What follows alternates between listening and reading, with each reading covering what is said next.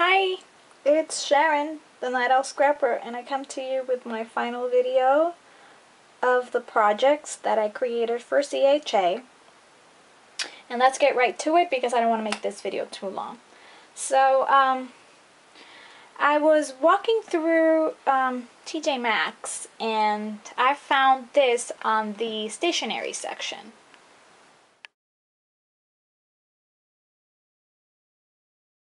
And I thought it was so cute and I look at the looked at the um you know the surface of it and I wondered whether I could alter it or you know make it work. It was very slick so I was kind of hesitant to get it but I said oh I'm gonna give it a try anyway because I thought this would be perfect to alter and um, have a mini book go inside. So that's what I did and um, this is what I made right here. So it looks like this the little box turned out to be like this. So, um, I used, again, tons of my Lindy Stamp Gang products to alter this. And I really like how it came out. It's the first time I've ever done a box like this. Um, with this weird shape, shape and the um, you know, they crackle all over. It's, it's first time. So anyways, um, what I did to make this look like this, as you can see, it's crackled all over. I really like the crackle technique. So um, there'll be tons of pictures of this on my blog because I know this lighting over here doesn't really do justice to all the shimmer on this. Um, again, it was a Lindy Stamp Gang products uh, project, so everything in here has Lindy Stamp Gang. And what I did first was I primed it with gesso, let that dry. Then again I took a dark color paint and painted the whole box and let that dry. then I used some crackle medium and after that I um what did I do? Oh, after that I let that dry and then I used some of that vanilla paint again that I got from Michaels and just did the crackle on it. So it looks really cool. Uh, on top of that I sprayed with my scintillating silver and I hope you could see the shimmer. I'm not sure. I think you could see it. It's really pretty. I sprayed the whole box with scintillating silver. Then after that, I took one of my Martha Stewart um, punches and I punched out a whole sheet of cardstock like this and then I embossed it using um, one of the Lindy Stamp Gang embossing folders, um, powders I mean, and I love how it turned out. I cut it around to fit the box and I made it look like a little fence. So that's what that looks like, like that. I'm going to cover that with, you know, not that it looks bad, but just because I like to hide seams, I'm going to put, you know, made by right there. So, not to worry on that. So, that's what I did. Um, again, all the products that I use, the colors and everything, will be on my blog. Then, over here, um, I used a little um, I don't know what you would call it, I guess flower trim that I got from Recollections is Michael's brand. And it was completely white. And it's just made out of paper and canvas and then some bling. And I just sprayed it with different Lindy Stamp Gang colors. This is the Tiffany Blue. And then on top of that, just because I wanted it to be even more sh shimmery, I added the scintillating silver to it. And I love it because it just looks great on there. Um, these are butter, you know, Martha Stewart butterflies that I sprayed and also embossed. Hope you could see the um, look on these butterflies. They're so pretty. Um, I love the texture of how the embossing powder looks when you just don't dip the whole thing. You just sprinkle a little bit on it after spraying it with your sprays and then heat set it. So pretty and it just curls automatically. I love it. I put some bling in the centers of all of these And then I did the same thing here. It's just different butterflies, different colors. And it's really nice and tough. Like it, that thing won't come off of there. Um, I took some chipboard pieces that I got back in the day. I don't remember. I think sometime last year or the year before. I showed it in one of my haul videos. It was a little box that cost me 49 cents and it had tons of little, not chip, but wooden pieces with sayings on it. So I took our journey from there, sprayed it with Lindy Stamp Gang sprays, and look at that. It looks gorgeous. It even looks like it was embossed, and it wasn't. It was just sprayed with the product. Super pretty. I really like that. Then on the top here, I did, um, oh, I forgot to say. Then I took some trim. I got this trim a long time ago from somebody here on YouTube that was selling it. Um, I believe this was it was Kelly from Canada. I'm not I don't remember, so I'm not even gonna state that. But um, I got it and just trimmed the whole box. I just you know layered it on top of this, and I thought it looked cute. Then I did the same thing on the top here. I you know crackle painted everything and put some more of that um, trim at the top. Then I put this nice butterfly on here. And this particular one is from MFT. This back one is one of the MFT dies and then I just layered a Martha Stewart butterfly on it, put some bling on it and did the whole spraying and embossing technique on there. Very pretty. The pictures you'll see how shimmery this is.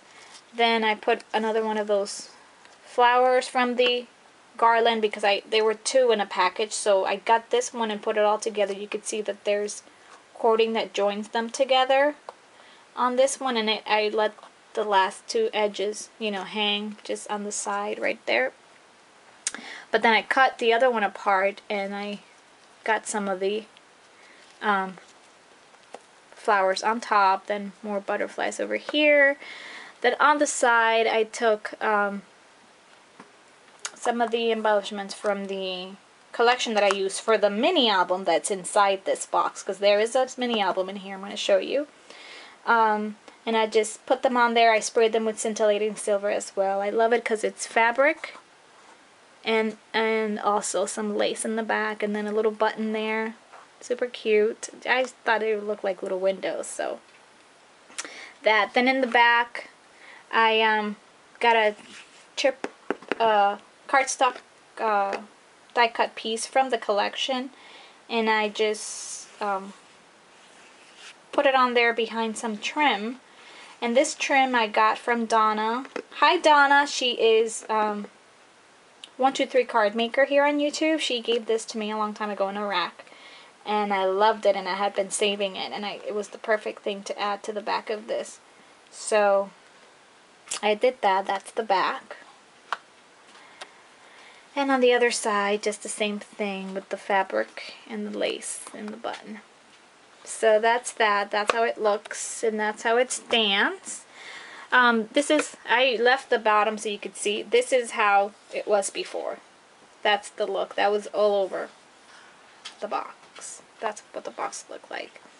So the ribbon up here just ties the roof together. And then this is how it opens. You just open this up. And inside here is a little mini that I made to go with this box. So it opens like this, and then you get the mini album that goes with the book with the box. And it's a very simple mini and it's small because I wanted it to fit nicely on there just in case it got, you know, thick. I didn't. I just um, left it like that because I'm going to embellish it once.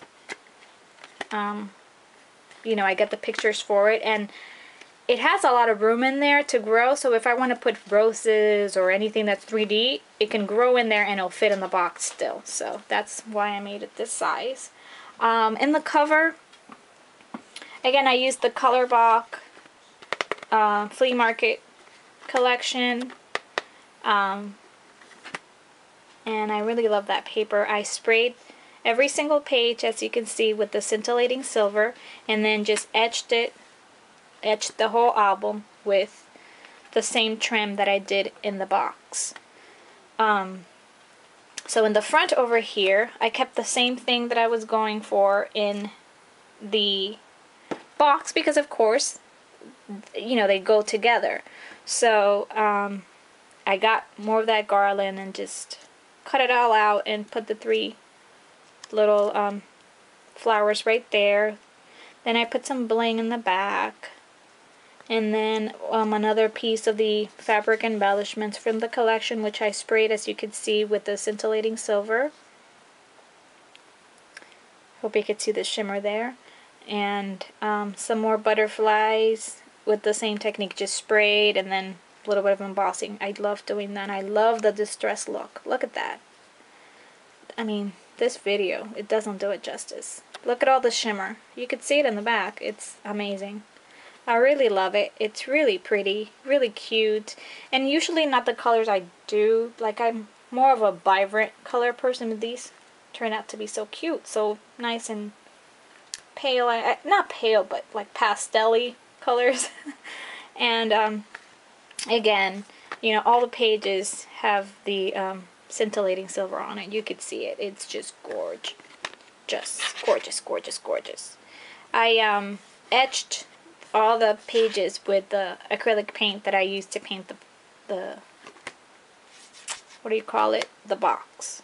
So everything matches and goes together and it'll be fun to fill this little album up.